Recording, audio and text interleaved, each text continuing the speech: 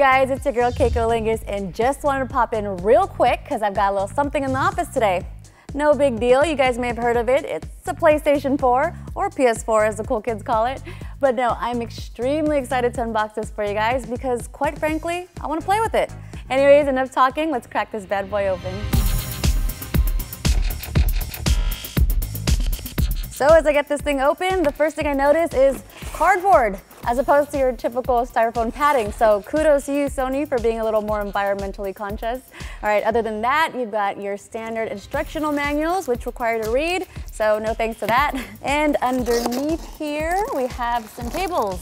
We've got here our power cable. Then we have our micro USB cable that we can use to charge our controller. Mono headphones with mic for your ish talking and an HDMI cable. A nice little addition that didn't come with the PS3 prior.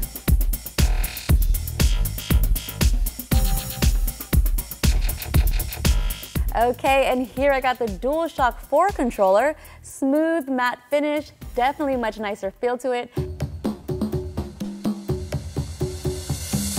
Visually, the first noticeable difference right here on the front is the touchpad, similar to that of trackpads on a laptop. Not sure if the camera picks up the motion, but you can actually press down and click on it. Gameplay-wise, you can also imagine that it'll be used for swiping, pressing, and so forth. Surrounding the trackpad, you'll see start and select buttons have been now replaced with share and option buttons. So if you wanted to share your gameplay activity with your friends on Facebook, Twitter, and so forth, you can do so with a simple click of that button. Now looking at the analog sticks, overall the motion of it feels just a little bit sturdier. But the biggest difference is a nice slip resistant rubberized coat that they put on it. It will definitely give you better control when you're playing. The left and right triggers in the back have also been slightly redesigned and have a much better feel to it. As you can see, they stick out a little bit more and feel much easier to access.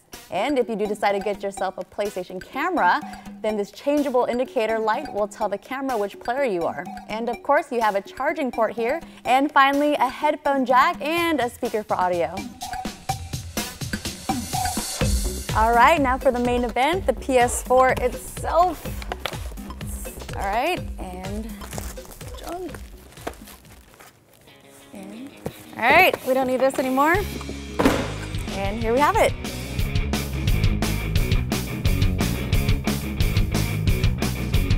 Now the launch model I have here contains a 500 gigabyte hard drive, but just like before, it is fully upgradable and you can increase your capacity by replacing it with a larger storage drive. Unfortunately, you won't be able to increase your storage by connecting external drives to it via the USB ports. So design-wise, it definitely has a much sleeker, angular look to it, and it actually feels a little lighter than the PS3. As you can see, it has both a glossy and matte black finish to it, up front, you can find the touch-sensitive power and eject buttons, and on this side, we've got two high-speed USB 3.0 ports, and right next to them is a slot-loading Blu-ray disc drive. Around back, you have an optical audio out, your HDMI, an Ethernet port, and an auxiliary port for external accessories such as the PlayStation camera.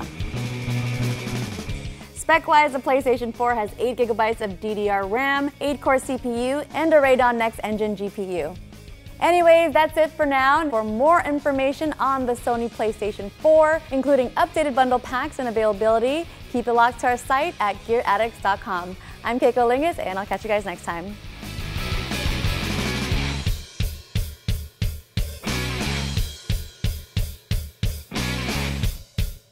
Hey guys, thanks again for watching. For even more videos from Gear Addix, be sure to subscribe to us right here on our YouTube channel. And for more information on the product featured in this video, click on the link in the description below. I'll catch you guys next time.